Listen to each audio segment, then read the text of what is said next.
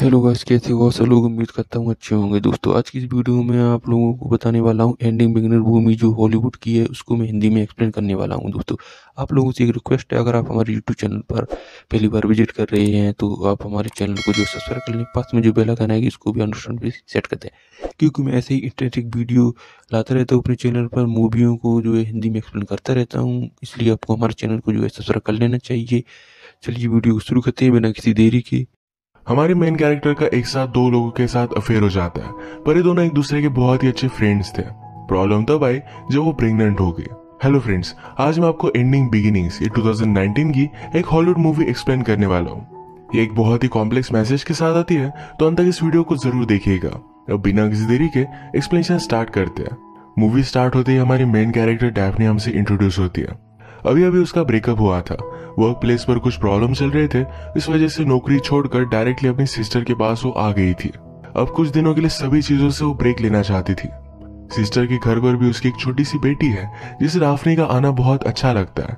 Daphne अपने आप को संभालने की बहुत कोशिश करती है, लोगों में घुल मिलने की कोशिश करती है, पर रात में उसे बहुत रोना आता है। वो अपने बॉयफ्रेंड को अभी भी मिस करती है। वो पहले आर्ट गैलरी में काम करती थी उसे पेंटिंग वगैरह ये सब चीज़ें बहुत ही अच्छी लगती है। तो एक क्लास उसने ज्वाइन किया है, जहाँ पर उसके कुछ फ्रेंड्स हैं। इन फ्रेंड से उसने बात की, कहा कि मुझे लगा था कि मैं उससे शादी करूँगी। हम हमेशा एक साथ रहेंगे। उसे अब लगने लग गया था कि वो भी अपनी मदर की तरह पूरी लाइफ सिर्फ़ प्यार ढूँढने में बिता देगी। उसकी मदर ने जब डिवोर्स लिया तो उसके बाद उसके बहुत सारे बॉयफ्रेंड थे। कभी भी एक जगह पर वो सेटल नहीं थी। अब डेफिनेट डिसाइड करती है डेटिंग से वो सिक्स मंथ्स के लिए ब्रेक लेगी। अपना फ्रीडम वो एंजॉय करेगी। वो आजकल फिर से न्यू जॉब ढूँढने की ट्राई करती है, पर कहीं भी उसे जॉब नहीं मिलता। अब क्रिसमस आ चुका था तो अपनी मदर से मिलने के लिए गई मदर का अब और एक न्यू बॉयफ्रेंड है। मदर को लग रहा था कि डैफनी अभी अपने बॉयफ्रेंड के साथ है, और वो नहीं आया। डैफनी जब उसे बताती है तो मदर ने कहा कि मुझे लगा ही था कि वो तुम्हारे लिए परफेक्ट नहीं है, जैसी फायर एक रिलेशनशिप में होनी चाहिए, ऐसा उसमें कुछ भी नहीं था। इसी बात पर सोचते हुए डेफनी को अपने बॉयफ्रेंड का और उसका एक फ्लैशबैक याद आया। उसे लगता था कि उनकी रिलेशनशिप एक ओल्ड कपल की तरह हो गई है। वो कभी भी न्यू चीज़ ट्राई नहीं करते। थर्टी फ़र्स्ट दिसंबर को डेफनी के सिस्टर ने एक पार्टी रखी थी। डेफनी के कोई भी फ्रेंड्स नहीं तो अकेली खड़ी थी। तभी उसके पास फ्रैंक आ गया। अपने आप को उसने इंट्रोड्यूस करवाया। वो पूछता है, तुम यहाँ कर क्या रही हो? डेफनी ने कहा कि मैं जरा ब्रेक ले रही हूँ। फ्रैंक ने पूछा, तुम किससे छुप रही हो? डेफनी सिर्फ़ चाहती थी कि फ्रैंक उसे अकेला छोड़ दे, पर फ्रैंक जरा दूर जाकर उसे बात करता है। वो बहुत ही फनी और चार्मिंग था पर डेफनी ब्रेक पर है तो ज़्यादा उससे बात नहीं करती आगे पार्टी में वो हमारे और एक मेन कैरेक्टर जैक से मिली। जैक से पहले डेफनी ने बात की थी। उसे पता था कि जैक एक राइटर है। जैक भी डेफनी को देखते हुए पहचान गया। उसे पता था कि डेफनी आर्ट में कुछ काम करती थी। बातों बातों में डेफनी कहती कि वो अपनी सिस्टर के साथ रह रही है। फिर उसके बॉयफ्रेंड के साथ उसका जो भी सब हुआ था, ये सारी बातें उसने जैक को बता दी उसे ऑलरेडी पहचान दी थी। तो उसे बात करना उसे बहुत ही ईजी लगा। जैक डेफनी को समझाता है, तुम अपने आप को बुरा फील करा रही हो। तुम्हें लगता है कि तुमने कुछ गलत किया, पर ऐसा कुछ भी नहीं होता। हम अगर खुद के बारे में सोचे तो हमें हमेशा लगता रहता है कि हम बुरे हैं, पर ऐसा कुछ भी नहीं होता। डेफनी को जैक की बातें बहुत अच्छी लगी थी। अगले दिन मॉर्निंग में फ्रैंक ने डेफनी को मैसेज किया। उसने उसे गम के गाने भेज दिए थे। डेफनी ने पूछा कि तुम्हें नंबर कैसे मिला? फ्रैंक ने आगे पूछा कि क्या अब भी तुम सोबर हो? डेफनी कहती कि मैं ठीक हूँ। अगले दिन जब वो अपने टेम्पररी काम पर थी तो वहाँ पर जैक आकर उससे मिलता है। जैक ने उससे पूछा, क्या तुम मेरे साथ ड्रिंक पर आओगी? डेफनी कहती है कि आजकल मैं कुछ भी ड्रिंक नहीं कर रही, पर तुम्हें कंपनी देने के लिए मैं आ सकती हूँ। इनकी फिर डेट फिक्स हो गई, पर डेफनी ने क्लियर कर दिया कि सिर्फ़ एज अ फ्रेंड ही डेट पर जा रहे हैं। डेट पर जैक डेफनी से कहता है, तुम मुझे बहुत ही अलग लगी। मुझे तुम्हें जानना था। एक लॉन्ग कन्वर्सेशन चाहिए थी। इसके बाद इसके बाद अलग अलग चीज़ों को लेकर दोनों बहुत बातें करते हैं। डेफनी पॉट्स पर डिज़ाइन करके उन्हें सेल भी करती थी। उसे बहुत अच्छा लगता था। तो ये भी जैक को उसने दिखाया। जैक कहता है कि तुम बहुत ही अमेजिंग हो। ये जब बात कर रहे थे, तभी डेफनी को फ्रैंक का मैसेज आता है। उसने उसे मिलने के लिए बुलाया। फिर जगह फिक्स कर कर फ्रैंक और डेफनी अगले दिन मिले। फ्रैंक उसे कहता है, तुमने मुझे बहुत दर्द पहुँचाया है। मुझसे ना कहा और जैक के साथ डेट पर गए। डेफनी को बात समझ में नहीं आती। तो फ्रैंक ने कहा कि जैक मेरा बेस्ट फ्रेंड है। डेफनी इसके लिए सॉरी कहती है। उसने कहा, वैसे भी सब चीज़ों से मैं ब्रेक लेना चाहती हूँ। वो फिर से रिलेशनशिप को कॉम्प्लिकेट नहीं कर सकती उसने कहा, मुझे तुम दोनों से बात नहीं करनी चाहिए। वो यहाँ से जाने वाली थी, इससे पहले एक दूसरे को हक करते हैं और डायरेक्टली किस करने लग गया इन दोनों की फ़र्स्ट मीटिंग से एक दूसरे में अट्रैक्शन बहुत ही पावरफुल था तो डायरेक्टली इंटीमेट हो जाते हैं। अगले दिन डैफने को जैक का मैसेज आया। उसमें लिखा था कि फ्रैंक और मेरी बात हुई। सब कुछ ठीक है, ज़्यादा वरी मत करो। डैफने फिर फ्रैंक से पूछती है, तुमने उसे क्या बताया? फ्रैंक कहता है, उसे ज़्यादा कुछ पता नहीं है। डैफने फिर फ्रैंक को बता देती है कि वो कोई भी रिलेशनशिप नहीं चाहती है। वो एक दूसरे को डेट नहीं कर सकते इसके बाद डैफनी को जैक का मैसेज आता है। इसमें लिखा था कि मुझे लगता है कि हम दोनों में कुछ स्पेशल है। इसे और भी एक्सप्लोर करना मुझे अच्छा लगेगा। इस पर उसने जरा सोचा और अगले दिन जैक के पास डेट पर आके ये दोनों रियलाइज़ करते हैं कि जब एक साथ होते हैं तो बहुत ही कंफर्टेबल होते हैं। बहुत सारी बातें करते हैं, दोनों को स्मोकिंग अच्छी लगती है। डैफनी ने जैक से पूछा, तुम और फ्रैंक के दोनों कैसे दोस्त हो? जैक कहता है कि वो मेरा बेस्ट फ्रेंड है, पर फिर भी मैं उस पर ज़्यादा डिपेंड नहीं कर सकता। वो कभी भी गायब हो जाता है। उसने मुझसे पैसे लिए थे, पर कभी भी वापस नहीं किया। उसकी लड़कियों के साथ अच्छी रिलेशनशिप नहीं बन पाती। उसकी लास्ट गर्लफ्रेंड उसकी वजह से पूरी तरीके से बर्बाद हो गए। इन दोनों को एक्चुअल में एक दूसरे के साथ कनेक्शन महसूस हुआ था तो आज रात दोनों इंटीमेट हो जाते हैं। अगले दिन डैफने अपनी नीस को जब स्कूल से घर लेकर आई तो उसकी सिस्टर और उसके हस्बैंड में झगड़ा चल रहा था। डैफने बहुत दिनों से उनके घर पर रह रही है। इस सिस्टर के हस्बैंड को अच्छा नहीं लगता। डैफने ने सब बात सुन ली थी। उसके एक्स बॉयफ्रेंड ने उसे मैरिज प्रपोजल के लिए रिंग दी थी। इसे सेल करके जो भी पैसे आते हैं इससे रेंट पर हाउस ले लेती है। मूव इन करते हुए अपने सब चीज़ों में उसे एक्स बॉयफ्रेंड का एक लेटर मिला। उसमें लिखा था कि शायद हम एक दूसरे से दूर चले गए हो। पर अगले जन्म में हम फिर से एक दूसरे को ढूंढ ही लेंगे। वो भी बिलीव करता था कि डैफनी उसके लिए परफेक्ट थी। वो उससे कमिटमेंट चाहता था। शायद डैफनी इसके लिए रेडी नहीं थी। इसी वजह से उनका ब्रेकअप हो गया। अब अगले कुछ सीन्स में हम देखते हैं डैफनी और जैक की रिलेशनशिप आगे बढ़ रही थी। एक दिन फ्रैंक का उसे मैसेज आता है। कहता है, तुम तो अच्छी तरीके से मूव ऑन कर चुकी हो। डैफनी कहती कि मैं प्रोसेस में हूँ। डैफनी लिखती कि मैं तुम्हारे बारे में सोच रही थी। अब कुछ दिनों के लिए जैक जरा काम से बाहर जाने वाला था। जैक का डॉग कहा रहेगा? ये एक प्रॉब्लम था तो डैफनी कहती है, तुम्हारी यहाँ आकर रह सकती हो। जैक ने कहा कि फ्रैंक उसका ख्याल रख सकता है। आज रात जैक ने एक पार्टी रखी थी तो उसमें फ्रैंक भी आया। आज रात हम देख सकते हैं कि फ्रैंक और डैफनी की नज़र सिर्फ़ एक दूसरे पर ही थी। एक दिन फ्रैंक डैफनी के घर पर आ गया। कहता है फ्रैंक के डॉग को अब तुम्हें संभालना पड़ेगा। वो ट्रिप के लिए कहीं दूर जा रहा था। डैफनी कहती है मेरे अपार्टमेंट पर डॉग्स रखना अलाउड नहीं है, पर फिर भी फ्रैंक उसे फोर्स करके रख कर जाता है। थोड़ी देर में फिर से वो वापस आया, डॉग की लीज देने के लिए।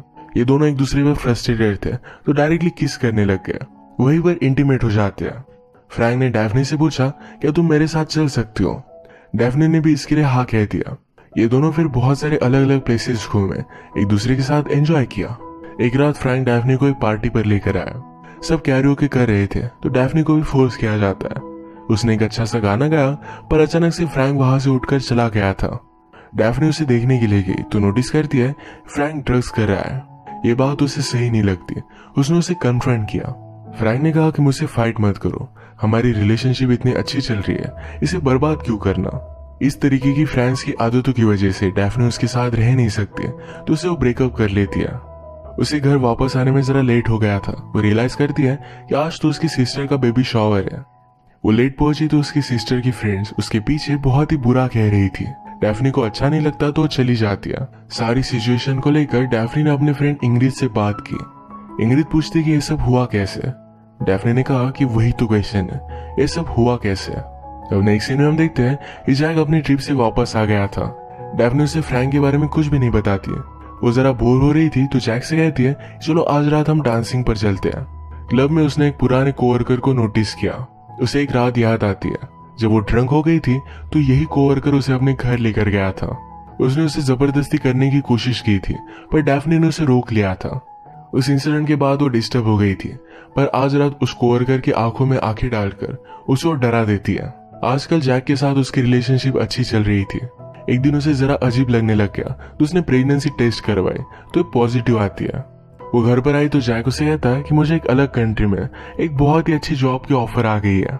वो बहुत ही एक्साइटेड था और डेफनी के साथ लॉन्ग डिस्टेंस रिलेशनशिप कंटिन्यू करने के लिए रेडी था।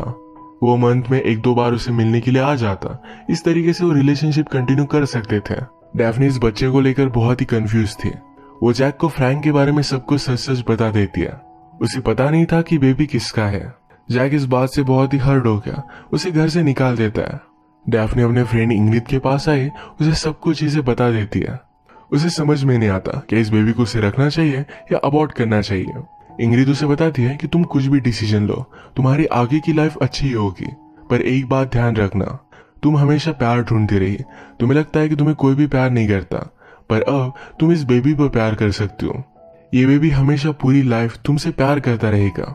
ये बात डेफनी को समझ में आई और वो डिसाइड करती है कि इस बेबी को रखने वाली है। इसके बाद वो जैक से मिली। उसने कहा, मैंने लाइफ में लोगों को बहुत हर्ट किया है। अब वो किसी को भी हर्ट नहीं करना चाहती। इस बेबी की वजह से लाइफ में उसे एक अलग पर्सपेक्टिव मिला है। अब वो एक बेटर पर्सन बनना चाहती थी।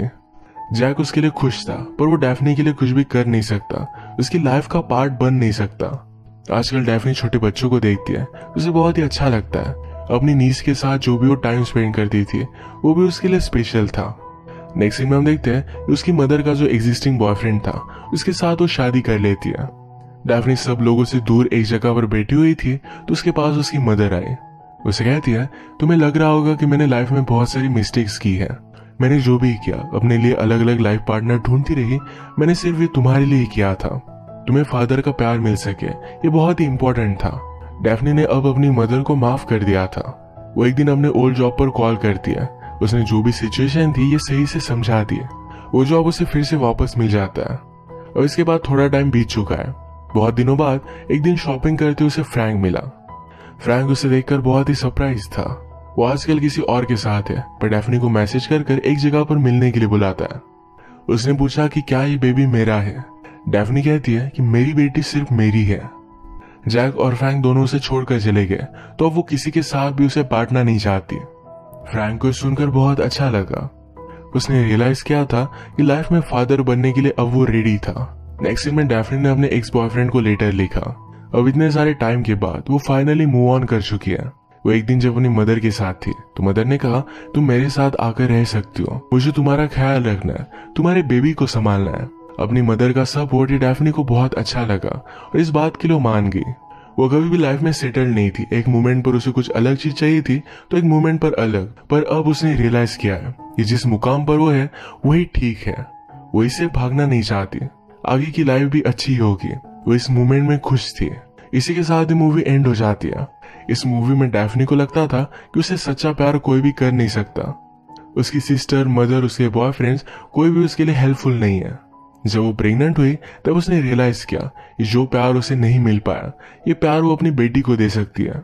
बच्चे भी अपने पेरेंट्स से हमेशा प्यार करते हैं। इस रियलाइजेशन की वजह से डैफनी को अपनी लाइफ में एक स्टेबिलिटी मिली। इसी के साथ आज का वीडियो हम खत्म करते हैं। अगर आपको अच्छा लगा तो प्लीज़ इसे लाइक और कमेंट ज़रूर कर दीजिएगा। मैं बहुत सारी मूवीज़ लेकर आते रहता हूँ तो प्लीज़ चैनल को सब्सक्राइब कर दीजिए और बेल नोटिफिकेशन आइकॉन दबाना मत भूलिएगा। हम फिर से मिलेंगे और एक मूवी के साथ। तब तक के लिए थैंक यू और आप अपने आप का ख्याल रखिए।